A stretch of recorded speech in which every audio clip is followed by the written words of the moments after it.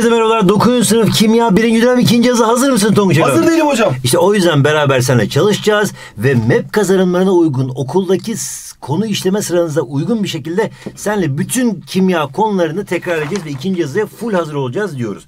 Tonguç'um bir kere şunu bilmemiz gerekiyor. İkinci yazı konularını genel olarak sana yazdım böyle o kağıtlara yazdım. Açıklamadaki linkten pdf'i indirebilirsin Tonguç Oo, güzel. İkinci yazılıda kimya bilimi birinci üniteden tabii daha az çıkacak e, birinci ünitenin ilk kısımlarından. E, birinci ünitenin kimya bilimi hala devam ediyor. Kimyanın semboliklerin ve benzeri. İkinci ünite ağırlık çıkacak. Yani atom ve periyodik sistem ağırlık çıkacak. Şimdiden söylemek istiyorum. O yüzden bunlara birazcık ufak bir özet yapmak istiyorum sana. Ufak bir özet yapayım ve de başlayalım Tonguç'um. Bir kere kimya biliminde simyadan kimyaya denilen bir konu vardı. Sonra da kimya disiplinleri ve kimyacıların çalışma alanları vardı. Simyadan kimyaya konusunda bilmemiz gereken simyacılar ne yapar? İşte kimyanın bilim olma süreci, simya ne demek? İşte sınama yanılma yoluyla yaparlar. İşte uygarlıkların katkılarında Mezopotamya uygarlığı, Mısır uygarlığı, Hint uygarlığı, İslam uygarlığı ve Çin uygarlığı ve Yunan uygarlığının bu altı temel uygarlığın katkılarına bakmıştık. İşte Mezopotamya'da ilaç kitapları ve benzeri. Bunların hepsi teker teker bilmemiz gereken şeylerdi. Ama şöyle anlatayım sana. Bunlar ilk yazıda daha ağırlıklı çıktığı için ikinci yazılıda bunlardan daha az ağırlıkta çıkmasını bekliyoruz. Bilim insanlarından Empedokles, Demokritus, Cabir bin Hayyan, Aristo, Ebu Bekir el-Razi, özellikle İslam e, bilim adamlarından işte Robert Boyle, Lavoisier, Robert Boyle'in yaptığı çok büyük bir buluştu. Lavoisier de bunu tamamladı ve mükemmel bir şekilde simya kimyaya dönüştü. Biliyorsun Tonguç Evren Bey. Aynı zamanda kimya disiplinleri ve çalışma alanlarına baktığımız zaman Tonguç'um kimya disiplininde analitik kimya vardı işte e, e, anorganik kimya vardı pardon. Ondan sonra organik kimya vardı. Ondan sonra biyokimya, fizikokimya, polimer kimyası, endüstriyel kimya şeklinde devam ediyordu. Bu konularla ilgili sıcak mı hissediyorsunuz soğuk mu hocam? Yani sizce bu mi? konulardan sorunun ilk yazılıda geldiği için birazcık daha az gelir ama ufak bir üstünden geçmek istiyorum konular çıkacağı için. Aynı zamanda kimya endüstrilerinde tabii kimya endüstrileri Tonguç evladım benim e, bizim bildiğimiz işte ilaç, gübre, arıtım, ondan sonra petrokimya, boya tekstil bunların hepsi aslında kimyasal reaksiyonlara dayalı endüstriler. Bunları da e, ne yaptığını özel olarak hani genel olarak ne yaptığını bilsemiz bilsek çok iyi olur. Mesleklere baktığımız zaman işte e, şeyde kimyagerler ondan sonra kimya öğretmeni ama şunu hatırlatayım. E, Mesela fen lisesinde Tonguç'um gıda endüstrisi, temizlik, madencilik ve adli kimya ve enerji konularında ek olarak bilmen gerekiyor. Onu da söylemek Oo. istiyorum kimya endüstrilerinde. Mesleklere baktığımda kimyager, kimya öğretmeni, kimya mühendisi, eczacı, meteoroloji mühendisi bunların hepsi aslında kimyasal reaksiyonları, kimyayı bilmek zorunda diyoruz. Ve hemen kimya biliminin diğer kısmına geçiyoruz. Bilmemiz gerekenlerden ilki ve en önemlisi gerçekten bundan sonra gerçek kimya başlıyor. Hani ilk başta tamam bir giriş yapmıştık, bir ısınmıştık ne var kimyada ama gerçekten kimya bundan sonra başlıyor. kimyaya geldiniz. Kimyanın sembolik dili en önemlisi zaten. Elementler nasıl gösteriliyor, atomlar nasıl gösteriliyor, moleküller nasıl gösteriliyor, hangi sembollerle kullanılıyor. İşte li, li demek lityum demek, kalsiyum demek, ca demek kalsiyum demek. Bunları gördüğümüz anda hani hatırlayabilmemiz ve bilebilmemiz gerekiyor ki özelliklerini aklımıza getireceğiz. İşte hangi maddeleri reaksiyona girebileceğini söyleyeceğiz falan filan. Burası gerçekten çok önemli elementlerin gösterilmesi. Dananın kuyruğunun İşte koptuğu yer. ilk 20 elementi bilmen. İşte hidrojen, helyum, lityum, berilyum, bor, karbon, azot, oksijen, flor, neon, sodyum, magnezyum, alüminyum, silisyum, fosfor, kükürt, klor, argon, potasyum ve kalsiyum. Bu ilk 20 elementi çok iyi bilmen gerekiyor. Onun dışında da bilmemiz gereken işte krom, magnan, mangan, demir, kobalt, nikel, bakır, çinko, brom, gümüş, kalay, iyot, altın, civa ve kurşun. Bunları gerçekten adın gibi bilmen gerekiyor ve sembollerini de bilmen gerekiyor. Şimdiden söylemek istiyorum Tonguç Evren Bey. Aynı zamanda Tonguç'um e, elementlerin yanında bir de bileşiklerin gösterimini bilmen gerekiyor. Bileşiklerden çok önemliler nelerdi? Mesela sodyum klorür, tuz, sofra tuzu. İşte hidrojen, e, hidro, hidroklorik asit, tuz ruhu dediğimiz şey. Veya H2O, su. Ondan Aa. sonra amonyak, NH3. işte ondan sonra HNO3, kezzap, H2SO4, zat yağı, e, NaOH, e, sut kostik şeklinde devam ediyor. Bunlar da, bunlar da sınavda çıkar Tonguç evladım. Bunlar sınavda çıkar. Neden diyeceksin? Çünkü gerçekten hayatımızdaki her alanında ortaya çıkan aslında e, bunlar e, birleşikler diyebiliriz. Ve birleşiklerin gösterimini, formülünü, Ondan sonra da işte yaygın ismini de bilmemiz gerekir diyoruz. İş sağlığı ve güvenliğine baktığımız zaman işte güvenliğimiz ve kimya Sigorta konusu- yaptırmalıyız. Evet güvenliğimiz ve kimyada e, hani şunu bilmemiz gerekiyor. İşte bazı maddeler patlayıcı onların bir sembolleri var. Bazı maddeler yanıcı onların bir sembolleri var. Bazı maddeler işte e, yakıcı maddeler, toksik maddeler, tahriş edici maddeler hepsinin ayrı bir sembolü var diyoruz. Ve aynı zamanda laboratuvar malzemelerinde de pardon, pardon kimyasal maddelerde mesela aşındırıcı maddeler dedik. Evet çevreye zararlı maddeler dedik. Radyoaktif maddeler dedik ve e, şeyde laboratuvar malzemelerinde işte bilmemiz gerekenler var. Mesela laboratuvar malzemelerinde şu- mesela e, beher glass, ondan sonra yok bilmem e, kroze, huni, tavan, işte burada deney tüpü, dereceli silindir, büret, e, ondan sonra saç ayağı, pipet, baget gibi genel olarak cam balon gibi bunları da hak, aklımıza getirmemiz gerekiyor. Çünkü ilk sınavda çıkmamıştı bu sene bu sınavda çıkabilir. Oo. Bunların teker teker resimlerini de gözüne önüne getirmen gerekiyor. Onu da şimdiden söylemek istiyorum. Hatta şöyle bir şey söyleyeyim. Bizim akıl haritamız nerede Tonguç evladım? benim? Vereyim hocam bir saniye. Evet. Buyur- Buyurun hocam. Evet. Şimdi akıl haritamızda mesela akıl haritamızda hatta akıl haritamız olanlar şunu da kullansın mutlaka. Heh, laboratuvar malzemeleri. Şu malzemeleri gerçekten bilin. Sınavda bir tanesi gelir diyoruz. O yüzden çok dikkatli bir şekilde çalışmamız gerekiyor bunlara diyoruz. Aynı zamanda diğerlerine de buradan bakalım. var mı hocam burada? Az önce anlattıklarım hepsi aslında burada var diyoruz. Peki geldik Tonguç'um artık dananın kuyruğunun koptuğu yere. Yani gerçekten de atom ve periyodik sistem en önemlilerinden bir tanesi. Zaten bu sınavda atom ve periyodik sistem ağırlıklı çıkacak sınavımız. Atom modelleri dediğimiz şey var ve atom modellerini kim oluşturdu? İşte nelerde? İlk başta Dalton'du. Sonra e, Dalton bir, bir küre demişti. Ondan sonra Thomson demişti artı ve eksiler bir arada bulunur. Üzümlü kek gibidir demişti. Onda, bunu yaparken katot ışınları deneyini kullanmıştı falan filan. Ondan sonra Rutherford gelmişti. Demiş ki hepiniz saçmalıyorsunuz. Zaten ben e, Thomson'ın öğrencisiyim Rutherford.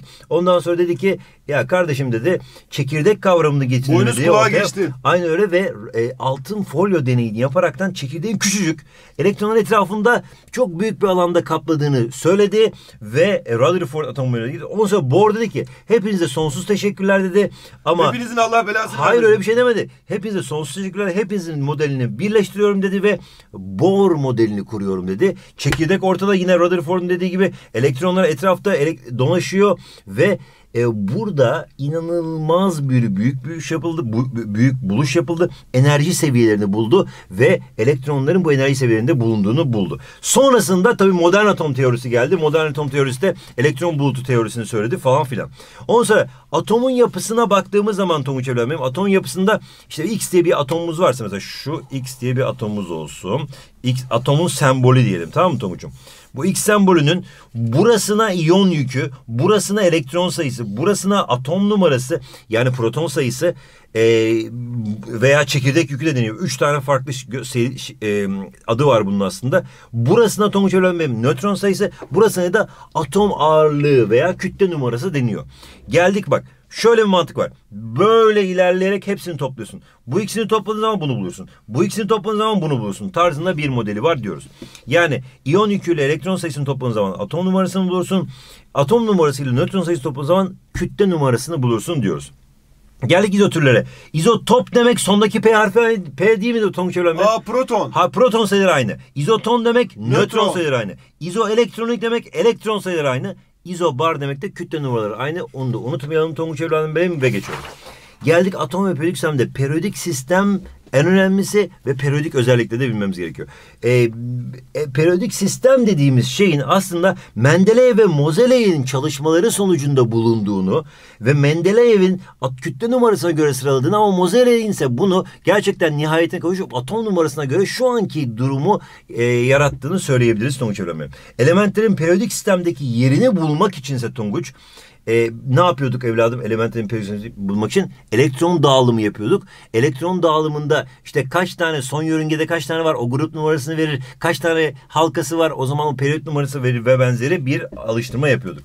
Zaten elementlerin sınıflandırmasına baktığımız zaman metaller, ametaller, yarı metaller ve soy gazlar diye 3-4 tane gruba ayırıyorduk. Metallerin işte parlaktır, ametallerin mattır, işte metaller elektriği ve iletir, elektriği ve iletmez. Yarı metaller tam arada bir şey hani ara, her ikisinin özelliğini de gösteriyor. Soy gazların takmışsınsa hiçbirisini takmadığını ve asil gazlar olduğunu, asal gazlar olduğunu Soylu ve tek pırtı. atomlu tek atomlu e, ato- e, mol- şeyler e, tek atomlu gazlar halinde dolaştığını hiç kimseyle bağ yapmadığını bilmemiz gerekir.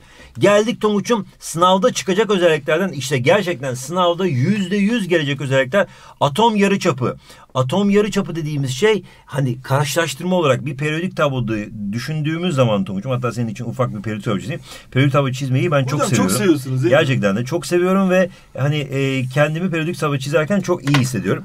Şimdi Tonguç'um e, atom çapı e, mantık olarak şöyle artıyor Tonguç evladım benim. Şu şekilde artıyorken atom çapı artıyorken bu şekilde de azalıyor.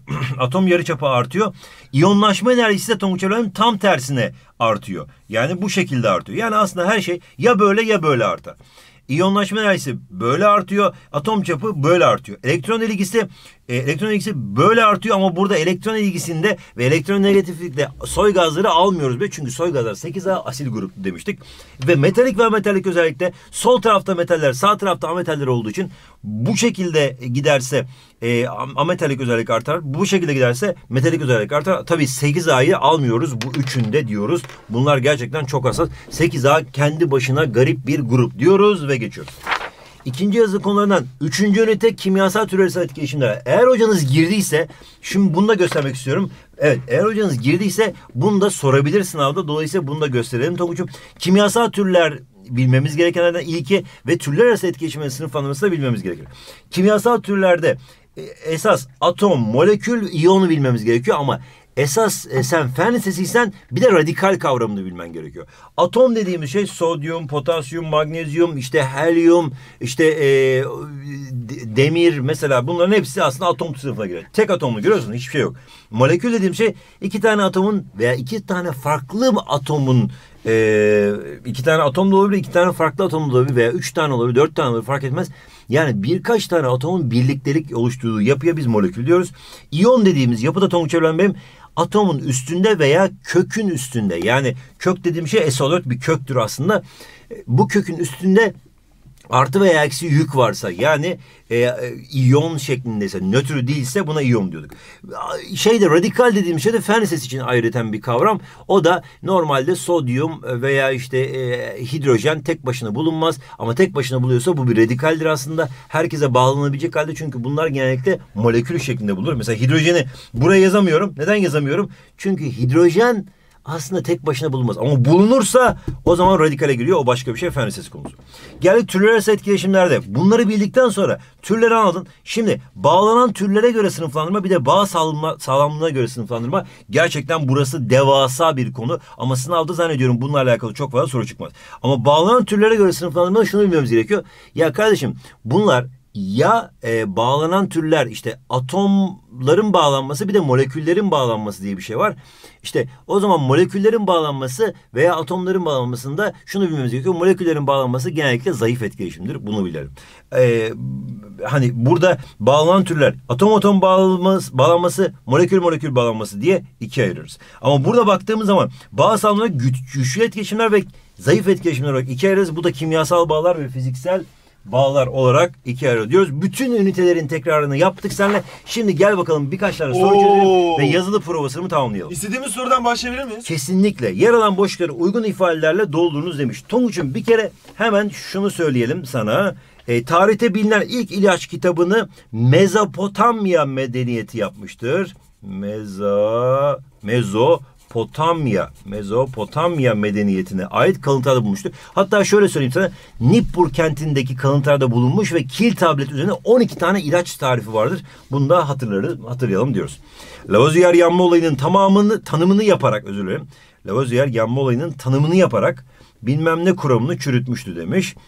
Evet, çürüttüğü kuramın adı filogiston. Filogiston. Yani ateş ruhu. Filogiston Tonguç'um çok enteresan. Aslında hala kimya döneminde, simya dönemindeler bunlar. Ateş ruhu olarak tanımlanan bir kavram. Lavoisier yanma olayını oksijen gazıyla verilen... Kimyasal bir ortamdayız hocam. O yüzden bu boğazda yanma oldu galiba. Aynen Lavoisier aslında filogiston kavramını e, çürüttü. Neden? Çünkü sanki yanınca bir şeyler yok oluyor, bir şeye dönüşüyor gibi düşünüyorlardı. Halbuki oksijenle birleşmek olarak tanımladığı yanma olayını işte burada gerçekten Lavoisier simyayı kimyayı dönüşten en önemli bir bir tanesi. Kuru meyvelerin hazırlanmasında kullanılan bilmem ne simya dönemi gelişmelerindendir. Nedir evladım? Kükürt, kükürt buharı. E, kükürt buharı sayesinde kuru meyveler hazırlıyoruz. Normalde meyveleri koruyamayız. Ama ne yapıyoruz? Meyveler uzun süre kalsın diye kurutuyoruz. Mesela kuru üzüm. 2-3 ay durur hiçbir şey olmaz. Hatta 4-5 ay durur hiçbir şey olmaz. Ama üzümü bıraksan bir haftada bozulur. İşte onu e, kurutabilmek için kükürt buharını kullanmışlar eski dönemlerde. Tabi simya dönemi bunlar. Yazdığı kitapta maddeyi tanımlayan bilmem ne Aristocu görüşleri bitirmiştir. Maddeyi tanımlayan ilk insan Robert Boyle. Yani element kavramını gerçekten ortaya çıkaran adamlardan bir tanesidir. Maddeyi tanımlayarak Aristo'nun dört element kavramı vardı ya Tonguç. Evet, Ateş, su, toprak. Bunların hepsini bitirdi diyoruz. Sistematik bilgi birikimi içermediği ve bilmem ne yoluyla yayıl, yoluna dayandığı için simya bilim değildir. Neye dayanlıdır? Sistematik bilimi, bilim dediğimiz şey aslında deney ve gözleme dayalıdır. Ama simya bilim değildir çünkü sınama yanılmaya dayalıdır. Sınama dediğimiz şey aslında deneme. Deneme yanılma veya sınama yanılma bu e, son zamanlarda trend sınama yanılma. Dolayısıyla bunu bilmemiz gerekiyor diyoruz trend. ve geçiyoruz. Simya ile ilgili ufak bir alıştırma yaptıktan sonra şimdi geldik gerçekten de çıkacak sorulara, gerçekten de karşımıza gelebilecek sorulara. Yukarıda bazı değerleri verilmiş olan X, Y, Z, T taneciklerinin birbirleriyle oluştuk izotürleri belirtiniz demiş. Hemen bakalım. Şimdi bu 23, bu 11. Ee, bir kere burası nedir? Bu ikisinin toplamı buydu. O zaman burası 12'dir. Nötron sayısı 12'dir. Bu ikisinin toplamı buydu. Şimdi burası görünmez bir 1 vardır artı yazıyorsa. Şimdi bu ikisinin toplamı budur. Artı 1 ile bunu toplarsak 10, 10, 11 eder. Demek ki burası 10'dur diyebiliriz. Bak hep böyle kural şu. Şu aslında. Yani bununla bunun toplamı bu. Bununla bunun toplamı bu. Geldik Burada hiçbir şey yok. Burası sıfır o zaman hiçbir şey yazmıyor. Bununla, bununla bunun toplamı bu. Tamam eyvallah. Bununla bunun toplamı da bu. 20 yazdık. Her hepsini bulayım ilk başta. Bununla bunun toplamı bu. Bununla bunun top bununla bunun toplamı da bu. O zaman burası da 10'dur diyoruz. Bununla bunun toplamı budur. Demek ki bu ikisinin toplamı da 10'dur Tonguç evladım benim. Bu ikisinin toplamı da 21'dir diyoruz. Şimdi geldik izotürlere. Şimdi Tonguç'um izotürler neler vardı? Hemen yazalım. İzotop vardı. İzoton vardı izobar vardı. Bir de izoelektronik vardı. Şimdi bir kere hemen şöyle izotop proton sayıları aynı olanları söylüyorum. Bu pardon on, e, bu ve bu ve bu ve bu enteresan. İki tane proton sayısı. Oo. Ama bak izotoptaki kurallardan bir tanesi şu. Hatta şöyle yapalım. X ve Y'ye bakalım. Ya, adam vermiş adam. X ve Y. Bu ikisinin proton sayıları aynı değil. Elektron sayıları aynı süper. Ee, bu aynı değil. Bu aynı değil. Bu aynı. O zaman bunlar izoelektroniktir diyoruz. İzoelektroniktir diyoruz. Geldik Tonguç evladım benim. Tabii proton sayılarında farklı olması gerekiyor izoelektronik olabilmesi için. Neredeydi? X ve Y. Proton sayıları 11 ve 10 farklı süper. X ve Z'ye bakalım. Bu X'e bakalım. Bak proton sayıları aynı süper. Elektron sayıları farklı. Ee, iyonlar farklı iyonlar. Neyse önemli değil o. E, prot, nötron sayıları farklı. E, kütle numara o zaman bunlar izotoptur. Dikkat ettiysen proton sayıları aynı olduğu için nötron sayıları da farklı olduğunu görebiliyoruz. Geldik Y ve Z. Y ve Z'de Tonguç Evlen ne var burada hemen söyleyelim. Y ve Z'de proton aynı değil, elektron aynı değil. Nötron aynı. Allah Allah. E, nötron aynıysa izotondur diyebiliriz. Tonguç Evlen'in proton sayılarının farklı olduğunu görüyoruz zaten. Geldik Y ve T. Y ve T bu ikisine baktım. Proton sayıları aynı süper. Elektron sayıları farklı. Tamam. Nötron sayıları farklı. Ee, tamam. Elektron falan. O zaman bu ikisi de izotoptur. Proton sayıları aynı olduğu için diyoruz. Ve diğerine geçiyorum. Z ve T. En sonunda artık e, burada da sadece izo bak bunların sadece kütle numaraları aynı. Bunlara da izobar diyoruz ve diğer sorumuza cumburlop geçiyoruz. Cumburlop. Aşağıdaki ifadeleri doğru ya da yanlış olduklarını belirtiniz demiş. Hemen bak bakalım. Mendeleev hazırladığı sistemde elementleri atom numaralarına göre toplamış. Yanlış. Moseley hazırladığı sistemde atom numaralarına göre Hırsız adam gitmiş kendi adını yazmış. Hayır evlat ne alakası var? Mendeleev esas kurucularından bir tanesi periyodik tablonun ama kütle numarasına göre gruplandırmıştır. Onu unutmayalım. Modern periyodik sistemde yatay sıralara grup denir Yanlış. Yatay serere periyot denir. Böyle bir şey saçmalık yok. Dikey, dikey sütunlara grup ne diyoruz? Modern periyodik sistemde 7 adet periyot yer alır. Evet doğru. Tebrik ediyorum. 7 adet periyot da yer alır, e, vardır diyoruz. Soygazlar periyodik sistemin 8. grubunda yer alan elementlerdir. Evet 8A grubunda yer alırlar. O yüzden 8. grupta diyebiliyoruz. 8A grubuna. Birinci grupta sadece iki adet element yer almaktadır. Hayır birinci periyotta sadece iki element yer almaktadır. Hatta periyodik tablomuzu çizelim. Şöyle çiziyoruz. Şöyle çiziyoruz. Bak Tonguç Evren Bey'im. Birinci Hocam yine dayanamadınız yine çizdiniz. bir sürü element var. Ama birinci periyotta sadece hidrojen ve helyumdan oluşan iki element var. Dolayısıyla yanlıştır diyoruz. Burada ters bir algı yaratmaya çalışmış üçkağıtçı diyoruz ve geçiyoruz. Rezil insanlar. Aşağıda bazı değerleri verilen peri, e, tanecikleri oluşturan elementlerin periyodik tablodaki yerlerini belirtiniz demiş. Hemen bakalım. Bir kere hemen e, verilmeyenleri bulalım. Bu ikisinin toplamı bu olduğu için burası 2'dir. Atom numarası 2. Atom numarası periyodik tablodaki yeri bulabilmek için ana elemandır. Başka bir şeye ihtiyacımız yok. Atom numarasını bulduktan sonra başka bir şey değil. Mesela bu ikisini toplarsak bu eder. Burada görünmez bir vardı. Bu ikisini topladığımız zaman 11 atom numarası. bu ikisini topladığın zaman burası 20. Bu ikisini topladığın zaman hiçbir şey yok zaten burada. O zaman o, atom numarası 16 bitti. Bizim ihtiyacımız olan tek şey atom numarası periyodik tablodaki yerini bulmak için. O zaman hemen mesela şuradan başlayalım. ya kardeşim o zaman hemen bunun e, elektron dağılımını yapabiliriz. Şimdi elektron dağılımını yaparsak bu e, ilk halkada iki tane vardır. İkinci halkada sekiz tane vardır. Üçüncü halkada altı tane vardır. Bak çünkü toplamı toplam 16 tane olması gerekiyor. 2, 8 toplamda 10. Sonra da 6 geldi. Tamam 16'yı tamamladık. Şimdi Tonguç evladım benim. Bu adamın eğer 3 tane halkası varsa kaçıncı periyotta?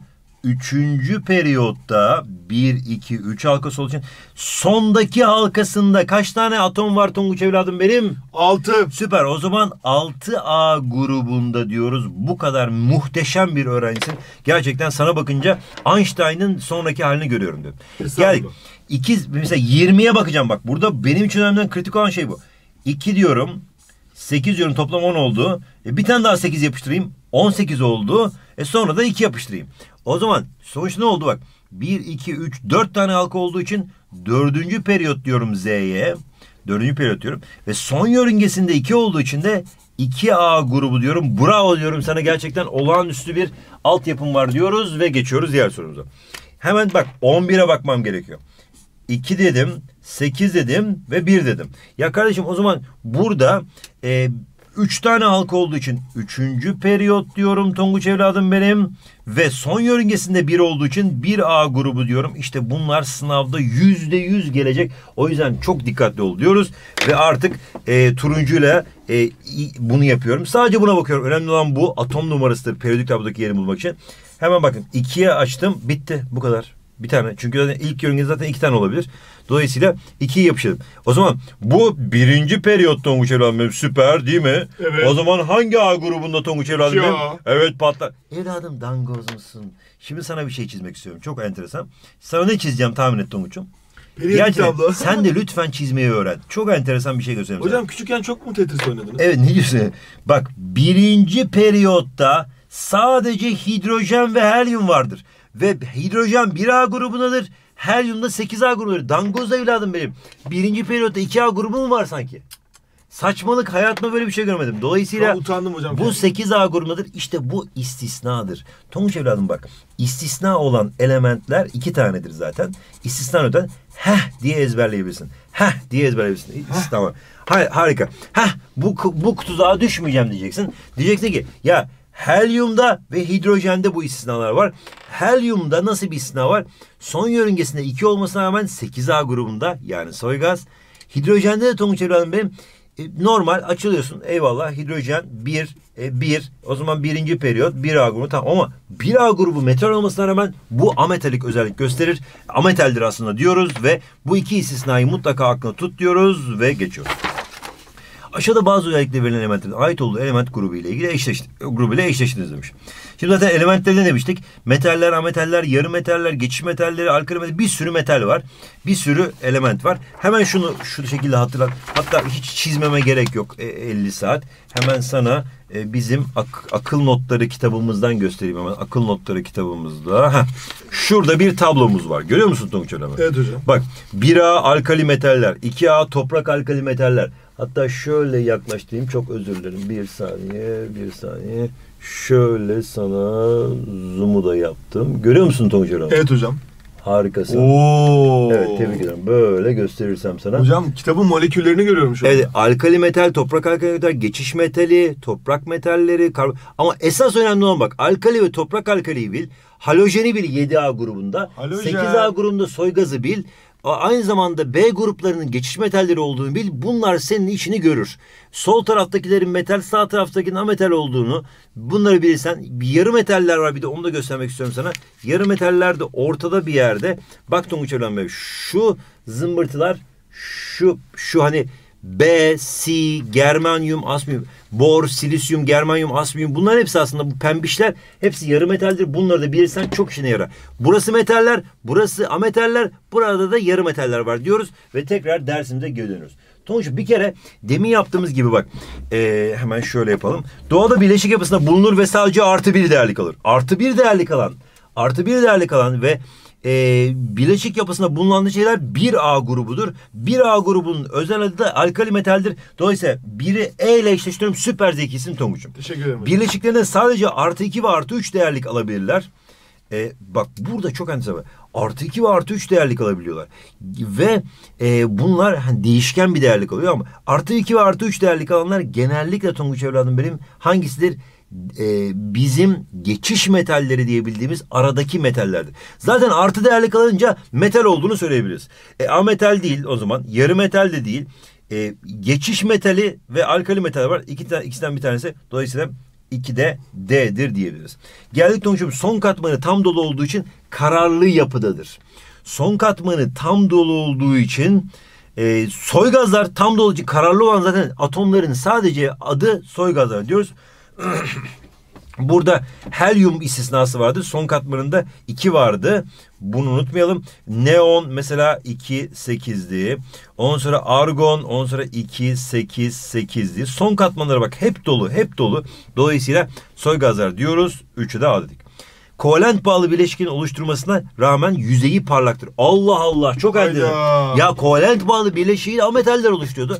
Ama ametallerin yüzeyi parlak değil ki mattır. Ya bu adam arada bir yerde o zaman. Hem metal hem metal gibi. Yani fırıldak gibi. O zaman ne diyoruz? Ceyhan diyoruz. Yarı metaller.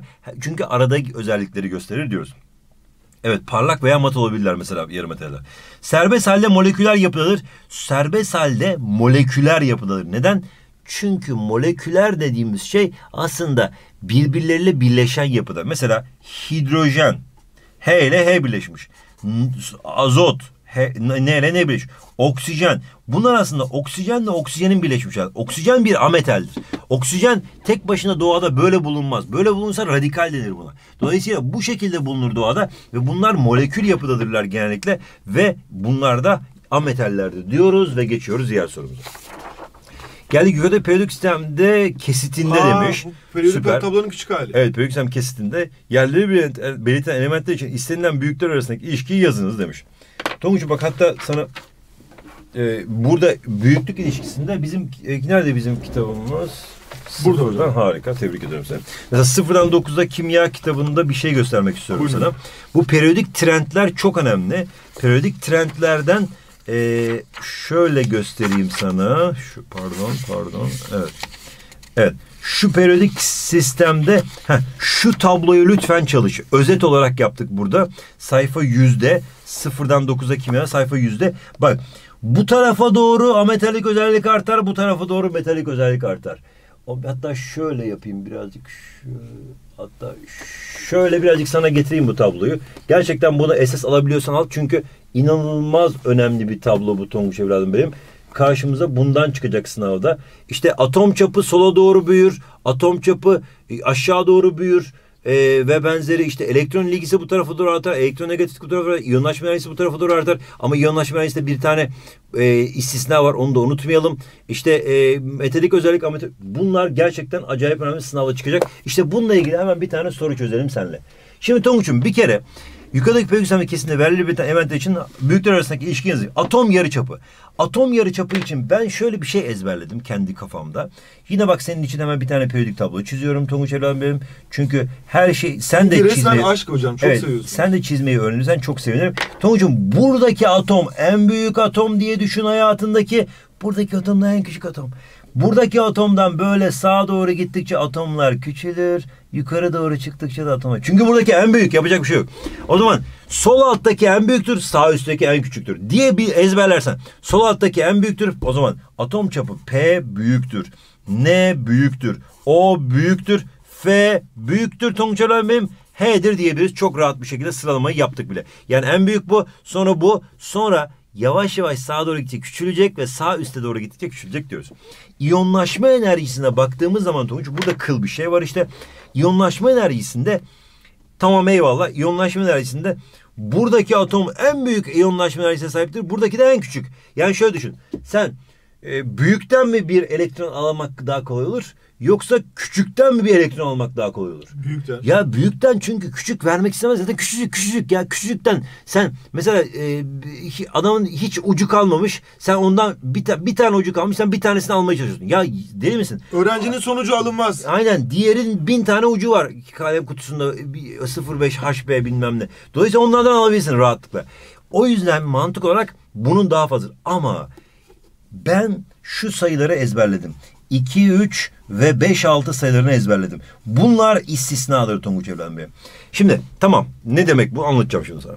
Şimdi buradan e, sağdaki yukarıdakinin en fazla iyonlaşma enerjisi var. O zaman helyum büyüktür. Tamam eyvallah. Sonra hangisi gelecek Tonguç Evlen Bey? Flor büyüktür. Sonra bu gelecek, sonra bu gelecek, sonra bu gelecek. Değil mi? En, en küçük de bu olacak. Değil mi o zaman? Evet hocam. İşte burada patlarsın. Neden diyeceksin? Çünkü 5-6'da istisna vardır. Yani normalde bu büyüktür, bu büyüktür, bu büyüktür, bu büyüktür dersen ama 5 ile 6 yer değiştirirler. Dolayısıyla o büyüktür ne diyeceğimize ne büyüktür o diyeceğiz. En sonunda da P gelecek diyoruz. Burada kritik şeyi unutma Tonguç'um. 5 ve 6 ve 2 ve 3'te istisna vardır. Normalde iyonlaşma enerjisi bu tarafa doğru artar. Artar. Nedir? İyonlaşma enerjisi bu tarafa doğru artar. Ama 5 ve 6'da ters döner bu. 5 ve 6'da normalde O büyüktür F olmasına rağmen ne büyük ne, pardon, O büyüktür ne olmasına rağmen ne büyüktür O olur. Burada kritik bir şey var. 2 3'te de değişir. 2A ve 3A grubunda da değişir diyoruz ve diğer sorumuza geçiyoruz. Elektron negatifliğe bakarsak Tonguç'um Tonguç'um elektronegatiflik dediğimiz şey aslında e, elektron e, elektron eksi olma e, daha doğrusu e, elektronu kendine e, çekme kuvveti gibi bir şey. Aslında elektronu kendine çekme kuvveti. E o zaman elektronu kendine çekme kuvveti hangisinde daha fazladır dersek Tonguç evladım benim. Elektronun kendine çekme kuvveti en fazla ama en fazla sağ üsttedir. Ama burada soy gazları e, konu dışı bırakırız. Çünkü 8A'nın hiçbir şekilde elektronu alma veya verme isteği yoktur. Kendi dışın kendi çapında apayrı bir e, yaratıktır. O zaman 8A'yı dışarı bırakırsak elektron negatifliği en fazla olan atom dünya üzerindeki flordur diyebiliriz. Çünkü flor en sağ üsttedir diyebiliriz. Elektronegatiflik bu şekilde artar. Dolayısıyla flor büyüktür. Ondan sonra oksijen büyüktür. Azot büyüktür. Fosfor ve en az elektronegatifliğe sahip olan da tabii ki helyumdur. Elektronegatifliği e, yoktur diye düşünebilirsin. Hatta elektronegatifliği yoktur diye düşünün. Çünkü en az elektronegatiflik bundadır diyoruz. Ve elektron ilgisine baktığımız zaman elektronu e, almak istiyor mu bu adam? Elektron almak istiyor mu? Tabii ki almak istiyor. Ametaller almak ister zaten. O zaman bunun elektron ilgisi en fazla diyebiliriz. Yine flor büyüktür. Oksijen büyüktür. Azot büyüktür evladım. Fosfor büyüktür. Helyumdur çünkü helyumun elektron ilgisi falan filan yoktur. Zaten elektron negatifle elektron ilgisi neredeyse birbirine özdeştir. Zaten elektron alan adam elektronu çekmek de ister. Dolayısıyla bunların arasında birbirleriyle neredeyse özdeştir diyebiliriz ve geçiyoruz diğer sorumuza. Kimyasal türleri uygun örnekler, örneklerle eşleştiniz demiş.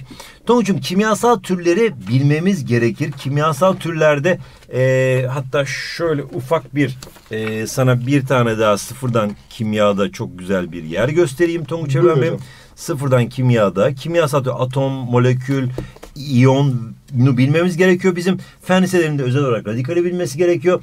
Bu dörtlüyü bilmemiz gerekiyor. Kimyasal türleri anladıktan sonra kimyasal türler arası etkileşimler ünitemizde ciddi çok şey göreceğiz. İşte güçlü etkileşimler, zayıf etkileşimler, bunların arasındaki ilişkiler bunlar acayip e, zaman alacak zaten işleminde göreceksin. Fiziksel ve kimyasal e, tür değişim edeceğiz. İkinci dönem full bu konuyu işleyeceğiz. O yüzden lütfen kimyasal türleri çok iyi anlamaya çalış.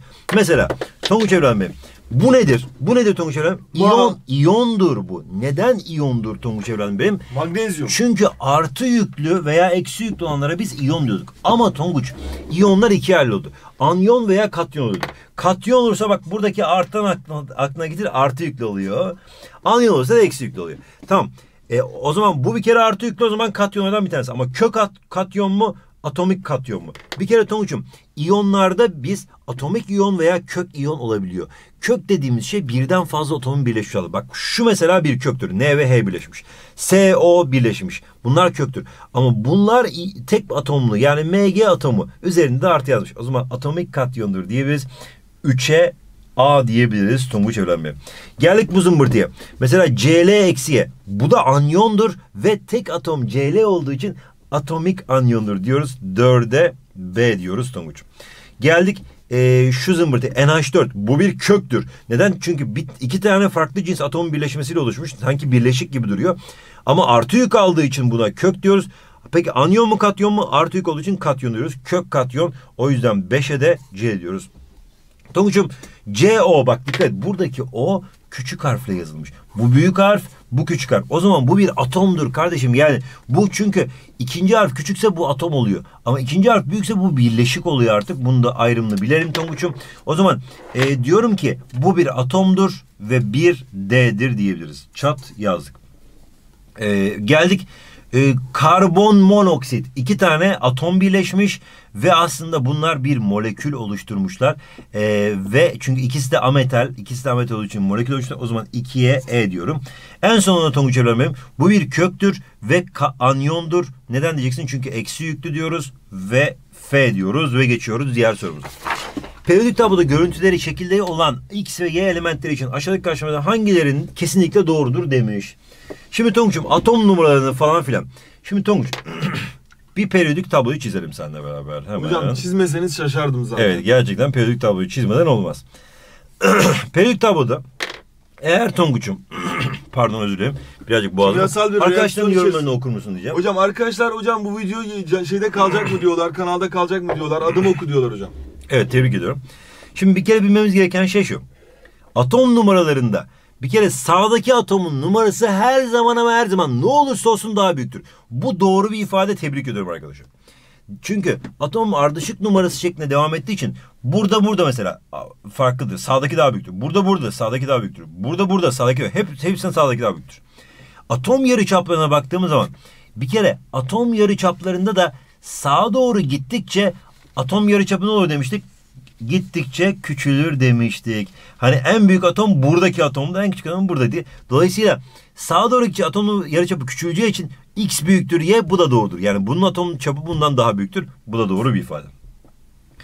Peki geldik iyonlaşma enerjilerine baktığımız zaman x y büyüktür x. Evet iyonlaşma enerjisi sağa doğru gittikçe ne olur Tonguç Evren Bey'im? İyonlaşma enerjisi Artar. tebrik ederim. O zaman y'nin x'ten büyük olması gerekmiyor mu? Evet. Patlarsın. Kesinlikle doğrudur demiş. Ne demiştik iyonlaşma enerjisinde?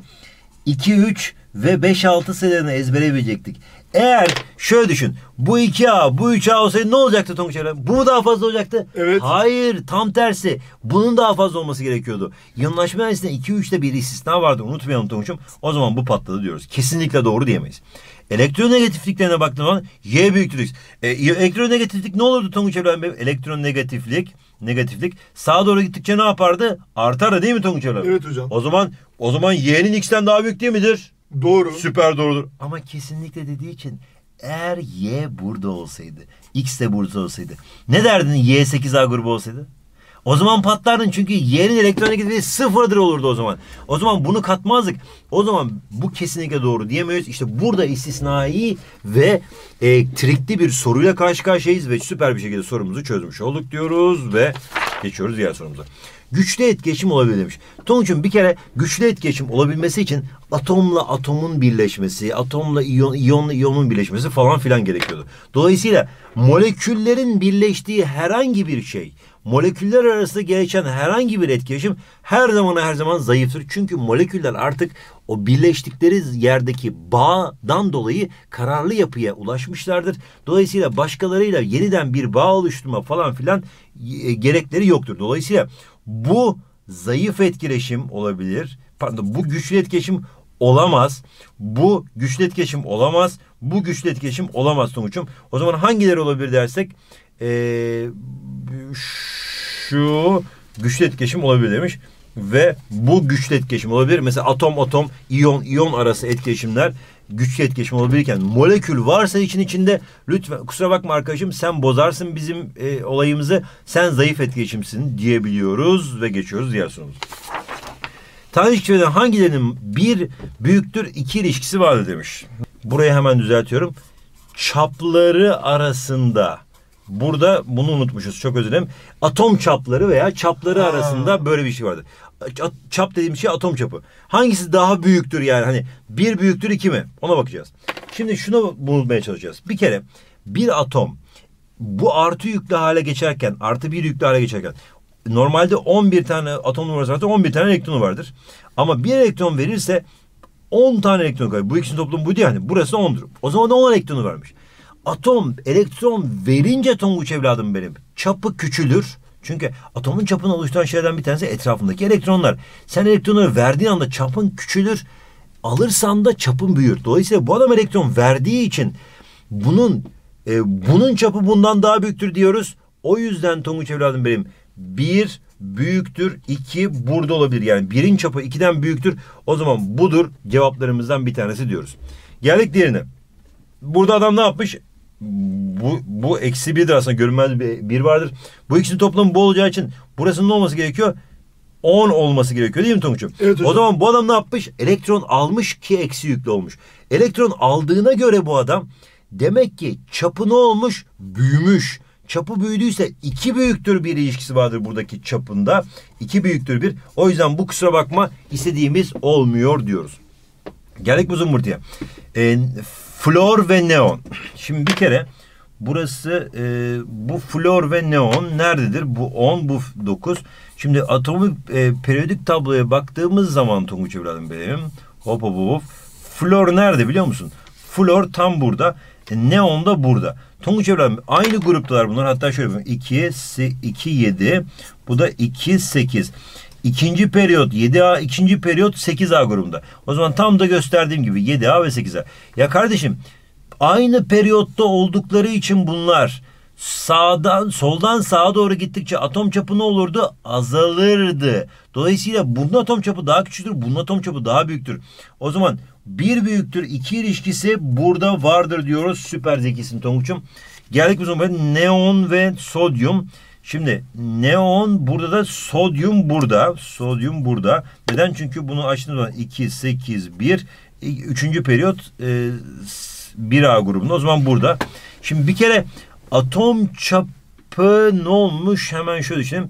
Nea daha fazla katman içermiyor mu Allah aşkına? Evet Bak, hocam. 3 tane katman bu da 2, 8 bitti. Bak 3 katmanlı 2 katmanlı. Yani bir atomun etrafında iki tane katman çiziyorsun. Bu atomun etrafında bir, iki, üç tane katman. Tabii ki bunun atom çapı daha büyüktür. O zaman e, iki büyüktür bir ilişkisi vardır burada. Bu da değil. O yüzden cevabımızın A ve C olduğunu söyleyebiliriz. Bir büyüktür, iki ilişkisi olan çaplar arasında diyoruz ve geçiyoruz. Evet geldik atom teorisiyle alakalı bir soruya. Atom modellerine özellikleri modelleriyle eşleştiniz demiş. Elektron kavramından ilk defa bahseden modeldir. Tabii ki Thomson katot ışınları deneyini yaparak Tonguç evladım benim e, elektron kavramından ilk bahseden adamlardan bir tanesidir. Hatta e, gerçekten de bu buluşuyla çağ, çağda değiştirmiştir diyebiliriz. Çok önemli. Mezarında düz yatsın. Ne diyorsun evladım? Çok ya önemli düz yatsın hocam uyusun yani. Ne Atomun tüm kütlesinin küçük bir hacimde toplandığı ilk defa açıklayan modeldir demiş. atomun tüm kütlesinin küçük bir hacimde toplandığını ilk defa açıklayan modeldir demiş. O da Rutherford. Çünkü tüm kütlesinin çekirdekte toplandığını söylemişti ve ciddi manada küçücük bir yer olduğunu söylemişti onun. Ee, ama büyük bir kısmının boşluk olduğunu söylemişti atomun demişti. Sabit ve katlı oranlar kanunlarından ilk defa bahseden modeldir. Tabii ki bu da Dalton atom modeli. E, atomun berk bir küre olduğunu söylerken bunu yaparken de sabit ve katlı Berk oranların küre. E, sabit ve e, katlı oranların e, kuramından da bahsetmiş diyoruz. Işığın özelliklerini kullanarak yörünge kavramını tanımlayan modeldir demiş. Bohr atom modeli. Çünkü Dalton, Dalton, Thomson, Rutherford, Bohr onsa modern atom sözü geliyor. Bohr atom modeli ışığın kimya kullanarak fazla yazınca kafa yapıyor. yörünge kavramını ilk defa bulan adam hidrojen spektrumunu bulmuş ve Bohr atom modeli aslında bu arkadaşımız diyoruz. Belirsizlik ilkesine dayanarak Uncertainty Principle derler. Çok ünlü bir principle'dır bu. İlkesine dayanarak elektronların e, bir elektron bulutu oluşturduğunu açıklayan e, modeldir. Elektronun nerede bulunduğunu bilemeyiz. Kuantum model de diyoruz bu modeli aslında.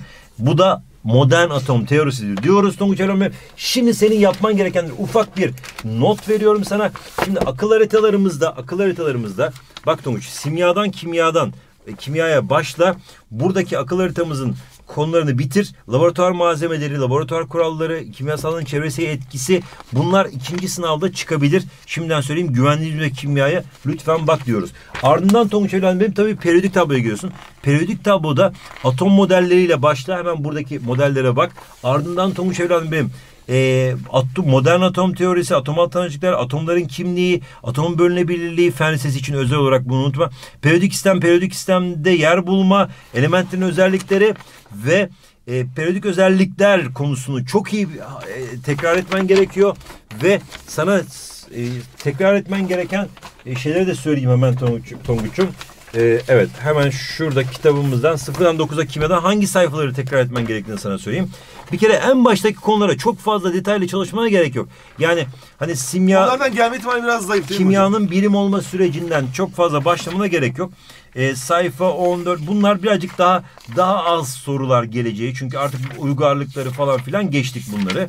Bunlar çok eski konulardı. Ama sen dersen ki buradaki aradaki tara geçleri çözebilirsin. 24-25'teki mesela. Ondan sonra Tonguç evladım benim fen lisesi için biliyorsun kimya disiplinleri ve çalışma alanları ile ilgili ekstradan çalışmalar var burada. Bunlara da lütfen bak.